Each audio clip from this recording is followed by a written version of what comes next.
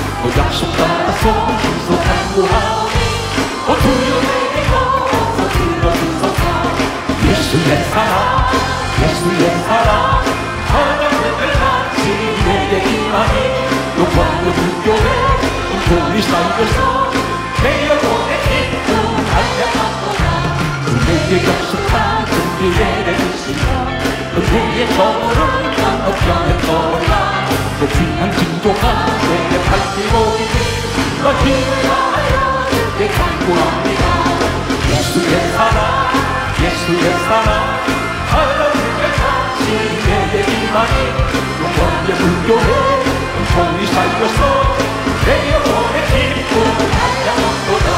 은혜의 소나기 지금 폭동이되자 무언의 큰 강물 흘러차고 넘쳐서 내 주만 보던 새 모두 씻어버리니 나 지금 은혜를 주만 하게 받았다 예수의 사랑 예수의 사랑 하나님의 같이 내게 온 종이 살려서 내 영혼의 한량한도다 자꾸 던지는 그의 은혜의 임상의 불려와 내게 만든다오니 오 할렐루야로 주를 찬송하오니 내 마음의 기쁨이 항상 주가 나옵니다. 예수의 사랑 예수의 사랑. 하나님의 같이 내게 임하니 영광의 불교에 온종이 살려서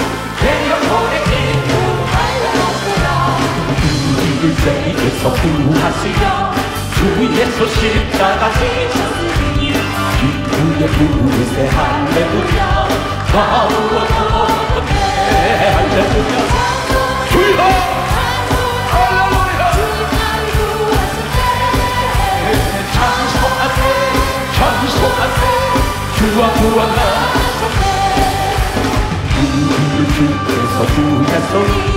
이전에 행하던 주하고 도는 모든 온전히 버렸네 찬송하세 찬송하세.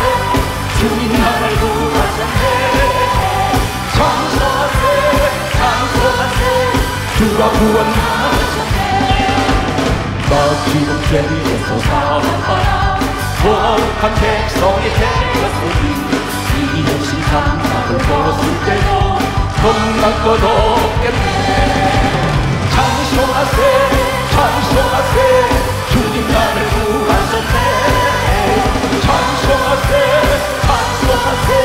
주가 구원하셨네 우리가 이 세상 떠날 때에 예수의 붙게 할때 영원히 즐거운 천국에서 주와 함께 살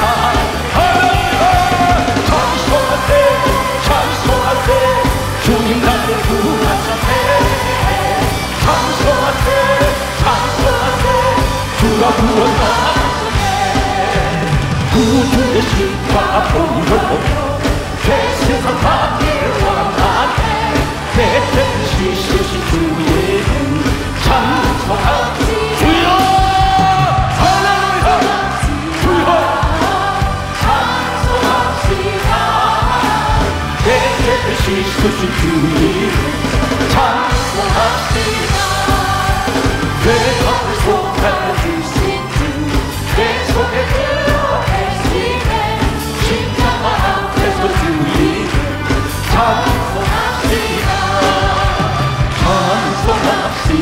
찬송합시다. 찬송합시다. 찬송합시다.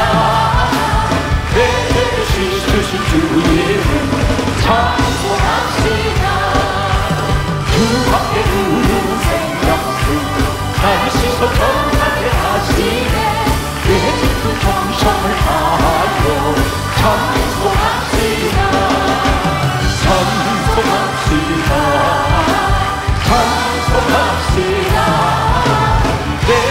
주의 이름 찬송합시다 그때 내게 당신은 생명수 가운데 터졌네 흠없고 순종한 주의. 찬송합시다 찬송합시다 찬송합시다 내 대신 주신 주의 찬송합시다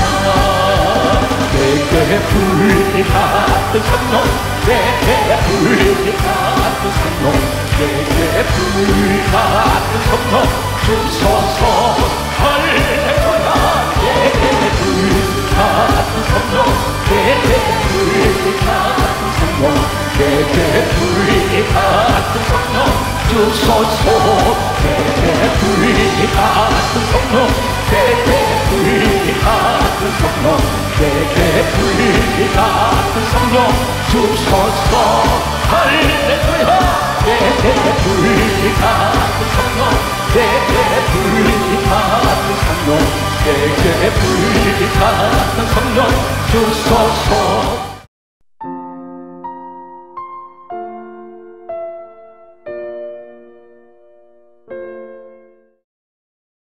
오늘 우리가 살아가는 이 시대는 하루가 다르게 문명이 우리가 실감하지 못할 만큼 발달하고 발전하고 있습니다. 반면에 문명이 발달하고 발전하는 만큼 현대에는 사방 곳곳에 복잡한 문제들이 얽히고 설키고 과거에는 듣도 보도 못했던 신종 범죄가 난무하고 있습니다. 오늘 저는 여러분들에게 어떤 나라, 어떤 민족, 어떤 문화, 어떤 방식으로 세상을 살아가는 사람이 할지라도 모든 전 지구촌에 살아가는 모든 인류들에게 한 가지 해결할 수 있는 마사키를 여러분에게 소개하고자 합니다. 그분은 예수입니다. 성경 말씀을 우리가 볼 때에 참고로 여러분에게 잠깐 도움의 말씀을 드리고 싶습니다. 예수님께서 이 땅에 오실 때는 구약 성경 39권밖에 없습니다. 신약 성경 27권은 예수님께서 이 땅에 오시고 난 이후에 예수님 제자들에 의해서 성경은 신약 성경은 기록되었습니다. 예수님께서 이 땅에 오셨을 때 구약 성경 39권을 가리켜 다음같이 말씀하고 있습니다. 요한복음 5장 39절은 예수님께서 직접 말씀하시기를 너희가 성경에서 영생을 얻는 줄 생각하고 이 성경을 상고하거니와 이 성경은 곧 내게 대하여 증가하는 것이다. 예수님에 관하여 증가하고 있다고 했습니다. 성경을 좀 더 여러분에게 도움을 드리기 위해서 몇 군데만 소개하겠습니다. 요한복음 5장 46절은 예수님께서 다음같이 말씀하고 있습니다. 모세는 내게 대하여 기록하였습니다. 예수님에 관하여 기록했다는 모세의 글이 어떤 것입니까? 예수님은 모세와의 역사 거리는 약 1500년 거리를 두고 있습니다. 모세라는 사람은 예수님께서 이 땅에 오시기 전 약 1500년 전에 이 땅에 존재했던 사람입니다. 이 사람을 통해서 창세기, 출애굽기, 레위기, 민수기, 신명기 우리가 가지고 있는 책 다섯 권을 기록한 것으로 알려지고 있습니다. 그런데 예수님께서 하시는 말씀이 모세는 내게 대하여 기록했다고 말씀하고 있습니다. 다시 말해서 약 1500년 전에 이 땅에 먼저 온 모세를 통해서 예수님이 1500년 후에 이 땅에 오셔서 이루실 일을 모세를 통해서 어떤 사건을 보여주시면서 그것은 예수님의 예표적인 사건이요 예언적인 사건이며 상징적인 사건으로 보여주고 계신다는 것입니다. 좀 더 구체적으로 여러분에게 소개하겠습니다. 누가복음 24장 27절에는 다음같이 말씀하고 있습니다. 모세와 및 모든 선자의 글로 시작하여 모든 성경에 쓴 바 자기에 관한 것을 자세히 설명하시니라.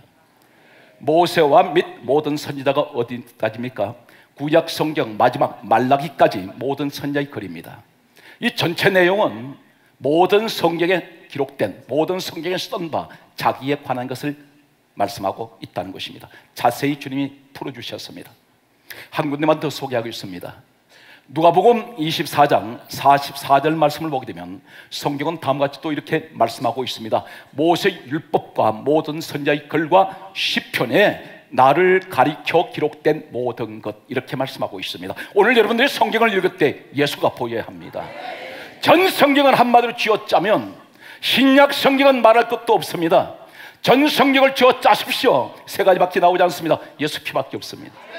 66권을 쥐어 짜면 예수 십자가밖에 없습니다. 결론은 66권 지었자면 하나님의 사랑밖에 없습니다. 하나님은 한마디로 누구십니까? 요한일서 4장 8절에 하나님은 사랑이라 했습니다. 그 사랑이 어떤 사랑입니까? 십자가 사랑입니다. 빌립보서 2장 6절에 우리 예수님은 하나님 본체시라고 말씀하고 있습니다. 요한복음 1장 4절에 말씀이 육신이 되어 이 땅에 오셨던 분이 예수님이셨습니다. 하나님께서 직접 이 땅에 죄인 가운데 오셔서 당신 스스로 십자가에 못 박혀 돌아가셨습니다. 그 십자가 사랑이 하나님의 사랑입니다. 아가페, 주는 사랑, 값없이 희생하신 우리 예수님의 그 사랑.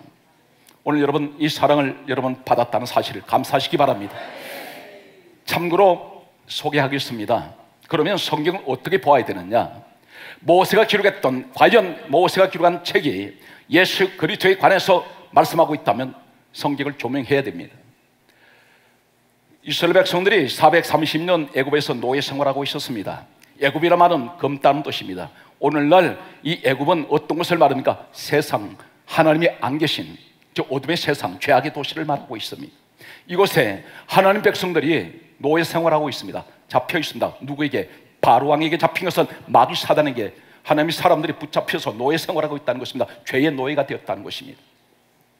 이때 하나님께서 모세를 통해서 양을 잡아 그 피를 문설주 문임박에 바르라 이렇게 말씀합니다. 이 사건이 바로 출애굽기 12장 13절에 예수님 오시기 전에 약 1500년 전에 기록했습니다. 이 사건을 가리켜 6월절 사건이라고 말하고 있습니다. 출애굽기 12장 13절은 하나님께서 이렇게 말씀합니다. 내가 피를 볼때 너희를 넘어가리니 재앙이 너에게 내려 멸하지 아니하리라. 그 피가 어디 발라져 있습니까? 모든 사람 집에 피가 발라져 있습니다. 피가 안 바른 사람도 집도 있었을 것입니다. 그런데 피가 발라진 그 집을 하나님이 봄치는 것은 그 집안에 누구를 대상으로 보지 않습니다. 단 한 가지 그 집에 유월절 양의 피가 있느냐.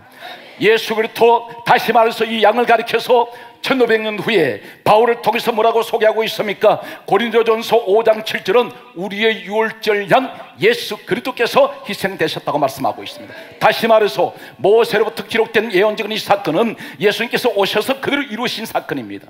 이 땅에 마귀 사단에 잡혀 있는 하나님 백성된 우리를 죄인 된 우리를 포로 생활한 우리를 주님이 예수 십자가의 피로 우리를 구원하셨고 죄 씻음 받게 하셨고 죄산 받게 하셨다는 것입니다. 그래서 출애굽시킨 겁니다. 어디로? 교회로. 왜 교회라고 그럴까요? 그러면 성경이 어떻게 소개하고 있습니까? 계속해서 소개합니다.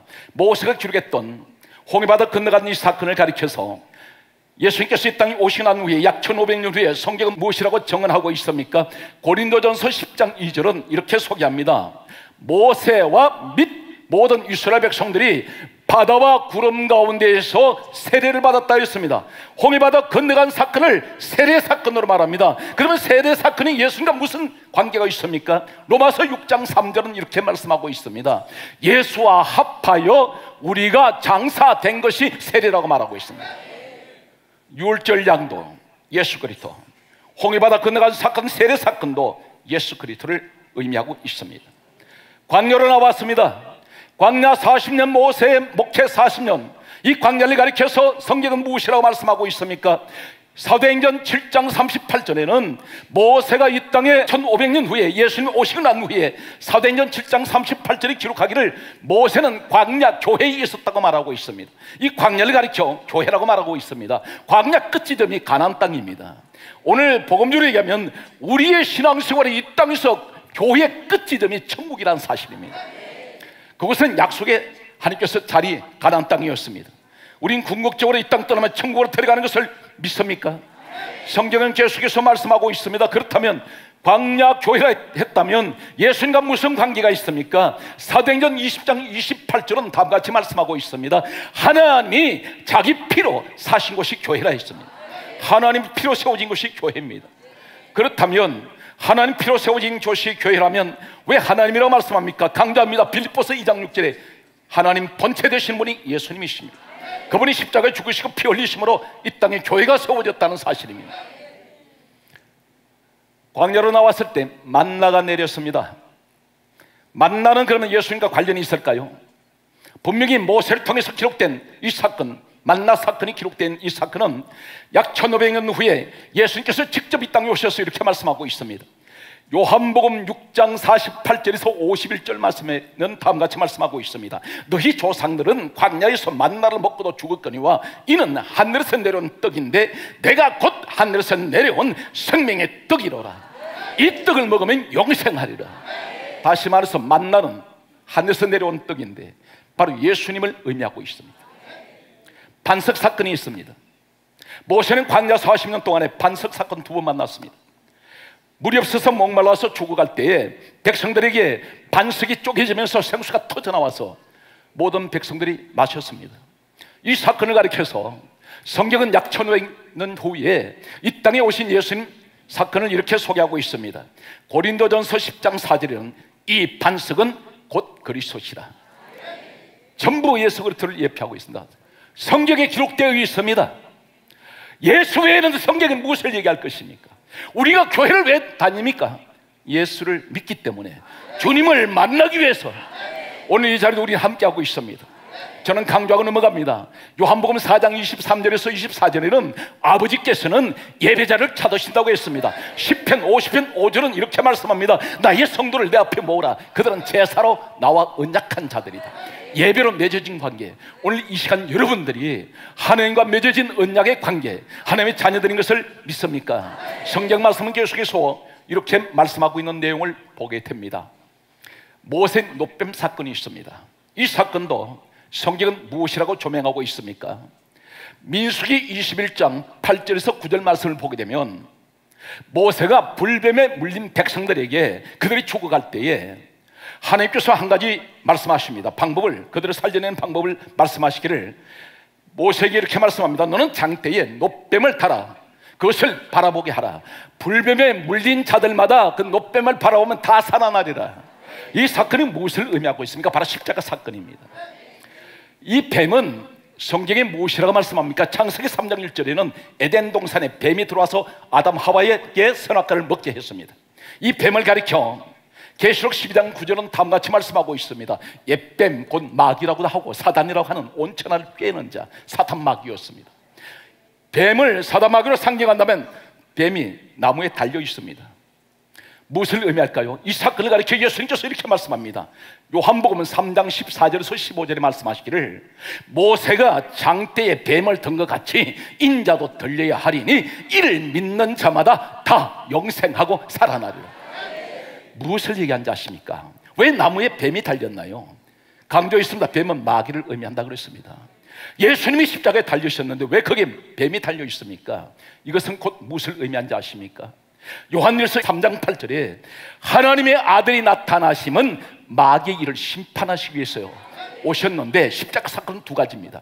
마태복음 1장 21절에 십자가의 죽으심은 죄인된 우리를 하나님 백성을 건져내시기 위한 구원하시는 예수 그리스도 또 한 가지는 사단마귀 뱀을 십자가에 못 박는 달아버리는 이 사건은 심판의 주를 말씀하고 있습니다. 그래서 예수님은 누구십니까? 우리에게는 구원의 주요. 마귀에는 심판의 주가 되신다는 사실입니다.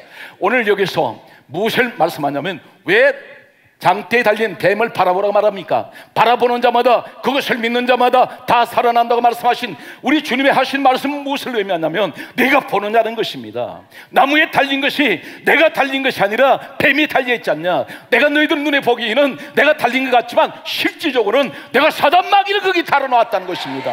나는 이겼다는 것입니다. 나는 정복자라는 것입니다. 누구를 정복했습니까? 사단 마귀를 정복했다는 것입니다. 그래서 우리 주님은 심판의 주요. 정복자가 되십니다. 이 사실 믿습니까?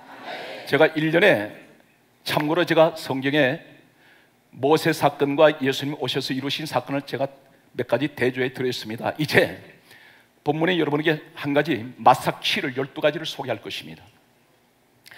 오늘 창세기 6장 8절은 우리가 잘 아는 대로 노아 시대에 일어난 한 사건을 소개하고 있습니다. 세상의 온통 죄가 뒤덮여 버렸습니다. 하나님이 사람 지으셨음을 이때 한탄하셨습니다. 그래서 홍수 심판으로 전부 다 썰어버리신다고 했습니다. 그런데 유난히 하나님께서 한 가정을 살려주시는데 바로 노아의 가정입니다. 노아의 가정을 살리실 때 하나님께서 그들을 전부 들어서 하늘나라로 데려가신 것이 아니라 한 가지 방법을 말씀합니다. 피난처가 어디냐면 방주였습니다. 방주 만들어라는 것입니다. 하나님이 주셨던 구원의 방주, 배입니다. 이 배를 하나님께서 만들어 말씀하시면서 오늘 이 배 안에 들어가면 열두 가지를 한 약속을 하고 있습니다. 단순하게 노아의 방주 사건으로 보지 마시고 이 방주 사건 통해서 오늘 분명히 말씀드렸습니다. 전 성경을 쥐어짜면 예수밖에 보이지 않는데 이 방주 사건은 곧 예수 그리스도를 얘기하고 있다는 것입니다.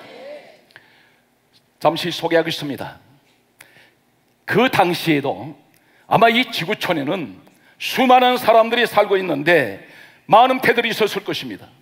고기잡이도 있을 것이고 짐을 실어난 배도 있었을 것이고 사람을 태워서 가는 배도 있었을 것입니다. 크고 작은 배가 어쩌면 수백 척, 수만 척이 있었는지 모릅니다. 이 수많은 배 가운데 하나님이 유일하게 말씀하신 배는 한 척밖에 없습니다. 두 척이 아닙니다. 세 척도 아닙니다. 여러 배를 만들어 말씀하지 않습니다. 단 하나의 배. 이 방주를 타야 하나님의 책임지십니다. 오늘 그렇다면 오늘 이 방주 안에 들어가는 사람은 열두 가지 축복을 받는 예수 그리스도의 복음이 있습니다. 바로 우리 모습이 되시기 바랍니다. 아무것도 염려하지 말아야 됩니다. 우리는 이 방주 안에 들어가야 합니다. 이 방주 안에 들어가야 되는데 오늘 여기서 강조하는 하나님이 왜한 척의 배만 주셨을까요? 성경은 이 사실에 대해서 무엇을 말씀하냐면 이 방주는 곧 복음적으로 예수 그리스도를 말하고 있습니다. 이 방주 안에 들어가야 합니다. 그래서 성경은 말씀하기를 사도행전 4장 12절은 이렇게 말씀합니다. 천하 인간의 구원 얻을 만한 이름은 예수 외에는 주신 일이 없다 했으니 예수 그리스도밖에는 구원이 없습니다. 오직 유일한 신신은 예수밖에 안 계십니다. 성경은 그렇게 단호하게 말씀합니다. 천하 인간의 구원 얻을 만한 이름은 예수밖에 없습니다. 오늘 이 한 척의 배, 다른 배 타면 다 뒤집어집니다. 다른 배 타면 흔적도 없이 사라져 버립니다. 오직 살아남는 배는 하나님 만든 이 한 척의 배밖에 없습니다. 이 배 안에 있는 여러분 되시길 바랍니다. 다시 말해서 예수 안에, 방주 안에, 곧 예수 안에. 오늘 이 사건은 이렇게 말씀하고 있는 것을 보게 됩니다. 성경을 우리가 살펴보면 창세기 28장에 야곱이 베델에 왔을 때 하늘에서 하늘 문이 열리면서 사닥다리가 내려옵니다. 이 사닥다리는 하늘과 땅에 닿았습니다. 천사들이 오르락 내리락 합니다. 사닥다리가 두 개가 아니에요. 사닥다리가 세 개가 아닙니다. 하나밖에 없습니다. 이 길은 천국으로 올라가는 길입니다. 하늘 문이 거기 열려 있습니다. 이 하나밖에 없는 사닥다리. 이것은 천국으로 올라가는 길인데 예수님이 이렇게 말씀하셨습니다. 내가 곧 길이요 진리요 생명이니 나로 말미암 자고는 아버지께로 올적 없다. 다시 말해서 이 사닥다리는 예수 그리스도를 의미하고 있습니다.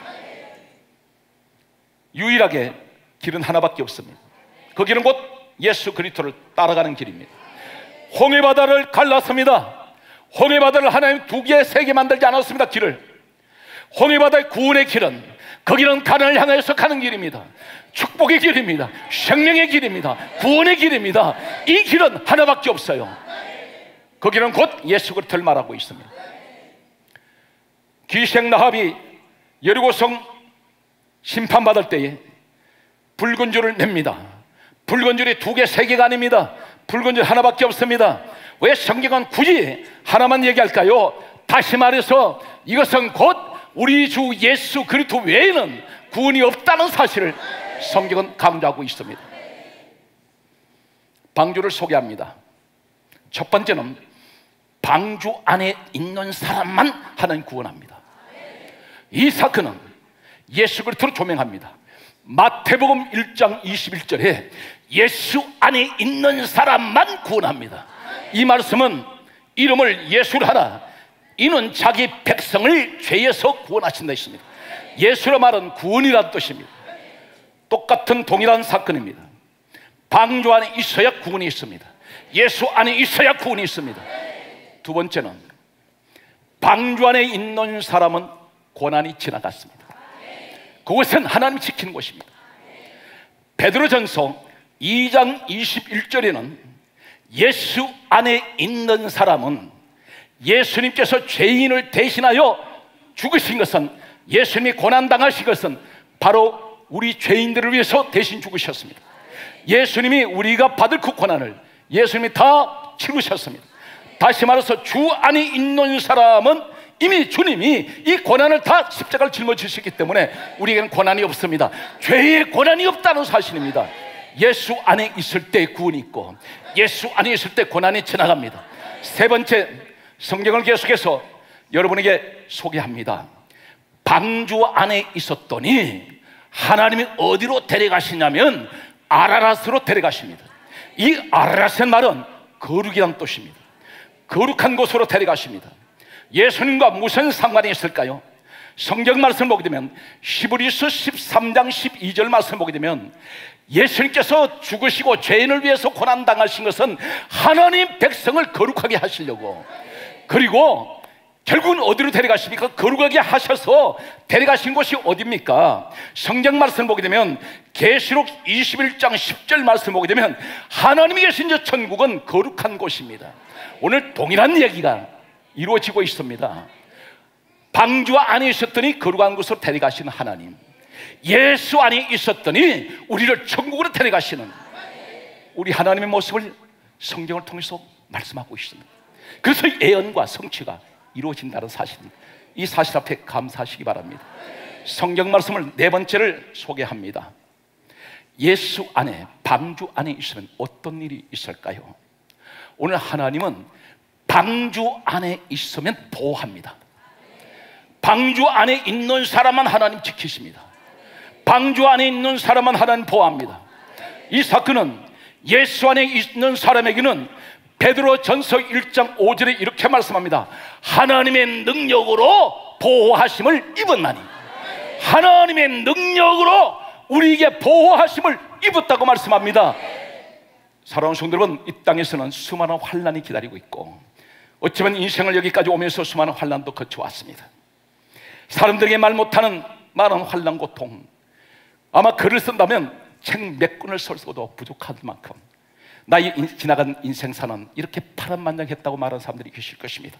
그런데 하나님의 능력을 입은 사람은 보호하심을 받는 사람이 있습니다. 오늘 여러분 중요한 것을 기억하세요. 교회는 나오는데 마음 따로 몸 따로입니다. 완전히 주님 안으로 두르지 않은 사람이 있다는 것입니다. 적당한 거리를 두고 있습니다. 이분들에게는 하나님의 능력으로 보호하심을 입지 못합니다. 하나님의 보호하심을 입은 사람, 하나님의 능력이 나를 완전히 사로잡아서 나를 보호하시는 이 사람들은 오늘 그대로 말씀합니다. 방주 안에 들어와야 합니다. 예수 안에 들어와야 합니다. 미적지근한 신앙 생활 하지 마세요. 우리 하나님을 쉽게 생각하시면 안 됩니다. 저는 말씀드립니다. 은혜 생활 해본 사람이 은혜를 알아요. 기도해본 사람이 기도를 압니다. 수박 그달기의 신앙생활을 아무것도 모릅니다. 이 사람은 평생 고생만 하다가 교회는 오는데 하나님이 전혀 만나주질 않습니다. 들어와야 됩니다. 방주 안에 들어와야 합니다. 예수 안에 들어오셔야 됩니다. 다섯 번째는 무엇을 말씀하고 있습니까? 방주 안에 들어온 사람에게는 심판이 오지 않습니다. 하나님이 철저하게 보호하고 있습니다. 그렇다면 예수 안에 들어와 있는 사람은 심판이 오지 않습니다. 어디에 말씀하고 있습니까? 요한복음 3장 18절에는 이렇게 말씀합니다. 예수를 믿는 자에게는 심판이 오지 않다 말씀합니다. 예수 믿는 사람은 심판받지 않습니다. 오늘 성경은 예수님이 분명히 그렇게 말씀하고 있습니다. 방주 안에 있는 나는 오늘 예수 안에 있는 우리의 모습을 의미하고 있습니다. 이해가 되십니까? 여섯 번째 소개합니다. 방주 안에 있는 사람은 사망이 오지 않습니다. 방주 안에 있는 동안에 노아의 여덟 식구는 죽은 적이 없습니다. 그들은 방주 밖으로 다 살아서 나왔습니다. 이 사건은 우리에게 무엇을 말하고 있습니까? 예수 안에 있는 우리 모습은 어떤 모습입니까? 요한복음 5장 24절은 다음과 같이 말씀하고 있습니다. 예수 안에 있는 사람은 사망에서 생명으로 옮기신다 했습니다. 그래서 예수님 말씀하시기를 너는 죽어도 살겠고 사랑하는 성도는 이 말이 무슨 말인지 아세요? 다니엘이 사적으로 들어갔을 때 죽지 않았습니다. 하나님 건져내십니다. 사드랑 메삭 아벤노고가 불 속에 들어가도 건져냅니다. 우리가 불같은 환란, 시련이 있어도 주님 안에 확실하게 내가 거기서 내가 믿음 생활하고 있다고 자부하고 믿는다면 반드시 여러분 어떤 환란에서 하나님 건져내십니다. 이해가 되십니까? 일곱 번째 소개합니다. 방주 안에 있는 사람은 어떤 사람이 어떤 축복을 받습니까? 방주 안에 있으니까 새 땅을 주십니다. 그 땅이 아라라십니다. 오늘 우리에게 무엇을 말씀하고 있을까요? 내가 예수 안에 있었더니 하나님이 장차 내게 주시는 것이 있는데 요한계시록 21장 1절에 보면 새 하늘과 새 땅을 주신다 있습니다. 오늘 성경은 방주 사건을 통해서 예수 그리스도를 그대로 조명하고 있습니다. 오늘 살아온 성도분 이 지상에서 가장 최고의 축복 중의 축복이 무엇인지 아십니까? 예수 그리스도를 내가 믿었다는 거예요. 내가 믿은 것이 아니라 주님으로부터 선택받았다는 것입니다. 자기 자신에 대한 자긍심을 가지세요. 최소한 내가 예수 믿는 사람으로서의 자존, 자긍심 가지시기 바랍니다. 떳떳하세요. 기죽을 이유가 없습니다. 성경은 계속해서 다음과 같이 말씀하고 있습니다. 방주의 여덟 번째, 우리에게 가르쳐 주시는 진리는 어떤 것일까요? 방주 안에 있는 사람은 새 시대가 열립니다. 새로운 시대를 열어줍니다. 우리에게 지금 뭘 말씀합니까? 예수 안에 있는 나에게 고린도 후서 5장 17절은 다음과 같이 말씀합니다.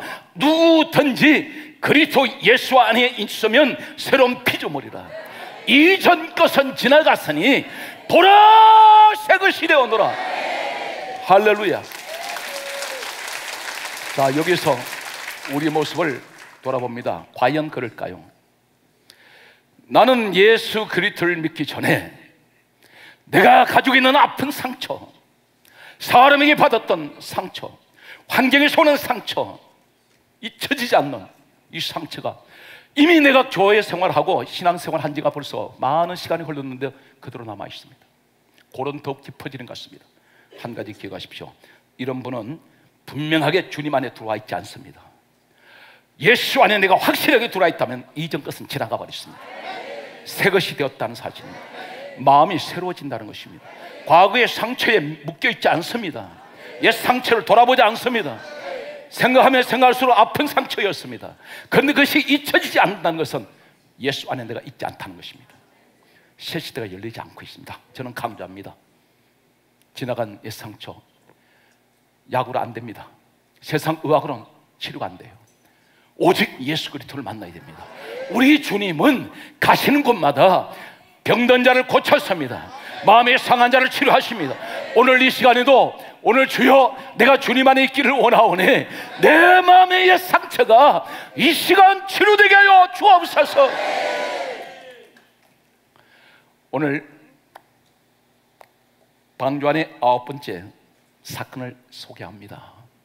방주 안에 있는 사람은 아무 염려도 두려움도 불안도 없어요. 하나님이 그 속에 이 방주 안에 들어와 있는 사람은 염려하지 않아도 불안해하지 않아도 두려워하지 않아도 하나님이 함께하고 계십니다.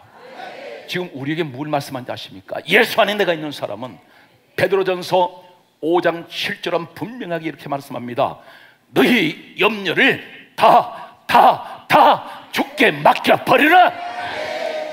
이해가 되세요? 주님 안에 있는 사람은 염려 다 주님께 맡기고 사는 겁니다. 그 염려를 끌어안지 마세요. 손에 쥐지 마세요. 기도하기 위해서 하나님 오늘 이 시간에 내 모든 고난의 짐을 다 떨쳐버리기 위해서 그것을 주님께 맡기기 위해서 우리 지금 이 시간 불러주셨다는 사실입니다.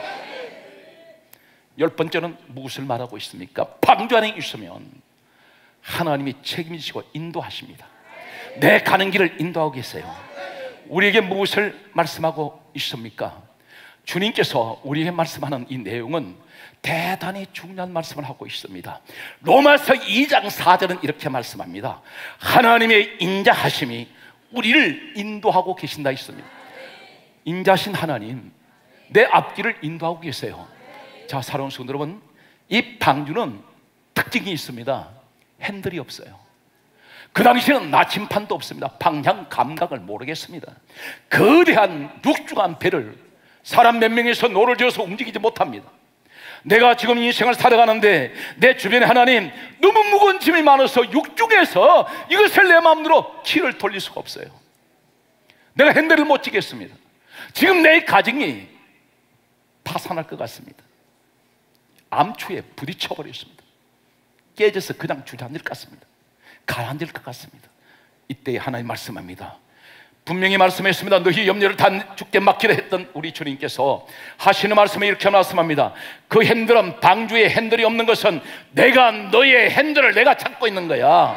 내가 인도하는 거야. 사람이 자기 길을 계획할지라도 그 걸음을 인도하시는 이런 여호와 하나님이라 있습니다. 주님께서 우리를 인도하고 계세요. 어떻게 인도하십니까? 기도하면 주님께서 다 인도하고 계십니다. 주님께서 함께하고 계신다면 반드시 우리 가는 길은 평탄한 길을 열어 주실 것을 저는 확신합니다. 오늘 사랑하는 성도 여러분 그렇다면 오늘 말씀이 계속해서 흐르는 이 말씀의 줄기는 어떤 것일까요? 방주 안에 있던 노아의 식구처럼 주여 이 시간 나는 예수 안에 있기를 원합니다. 성경은 계속해서 우리에게 말씀합니다. 열한 번째 성경은 방주 안에 있는 사람들 무엇을 의미하고 있습니까? 따라서 방주 안에는 저주가 없다. 대단히 중요한 얘기입니다. 방주 안에 들어온 사람은 저주가 내리진 않아요. 다시 말해서 복음적으로 예수 그리스도 안에 있는 사람에게는 저주가 오지 않습니다. 정죄를 못합니다. 로마서 8장 1절에 누구든지 그리스도 예수 안에 있는 사람은 정죄할 수가 없다 그랬습니다. 사람은 절대 사람 정죄하지 마세요. 특히나 믿음 안에 있는 사람들 죄를 쉽게 지적하지 마세요. 본인 스스로 하나님은 인격의 하나님이라 말씀을 듣다가 스스로 깨닫기도 하시고 회개하기도 하시고 그리고 그 죄악의 자리에서 돌아와서 쓸수 있도록 하나님께서 그 마음속에 성령께서 내 생각을 통해서 컨트롤 한다는 사실입니다. 그래야 상처받지 않습니다. 사람을 쉽게 지적해버리면 그 사람에게 상처가 생길 수가 있다는 사실입니다. 자, 사랑하는 성도님, 열두 번째는 우리에게 무엇을 말씀하고 있을까요? 방주 안에 있는 사람은 자유가 있습니다. 오늘 예수 그리스도 안에 있는 사람은 자유가 있습니다. 과연 그럴까요? 고린도 후서 3장 17절은 다음과 같이 말씀합니다. 주는 영이시니 주의 영이 계신 곳에는 자유함이 있느니라. 주님이 함께하면 자유함이 있습니다. 환경이 묶이질 않아요. 질병이 묶이지 않습니다. 사람 관계에 묶이지 않습니다. 모든 걸 다 풀어주시는 하나님. 예수님께서 이렇게 말씀합니다. 진리를 알지니 진리가 너희를 자유케 하리라. 진리를 알면 진리가 너희를 자유케 한다 그랬는데 진리가 도대체 누굽니까? 예수님께서 이렇게 말씀합니다. 내가 곧 길이요 진리요 생명이라. 다시 말해서 예수를 네가 아느냐는 것입니다. 예수를 알면 모든 게 다 풀어진다는 것입니다. 오늘 사람 성들은 우리는 날마다 주님 더 가까이 가셔야 됩니다. 이 민족이 살 수 있는 유일한 길이 하나 있습니다. 주님 앞에 나와야 합니다. 다신론, 혼합 종교, 이건 사탄의 장난입니다. 오직 우리는 예수 그리스도밖에 모릅니다. 주님만이 우리에게 구세주가 되시고 그분만이 하나님이십니다.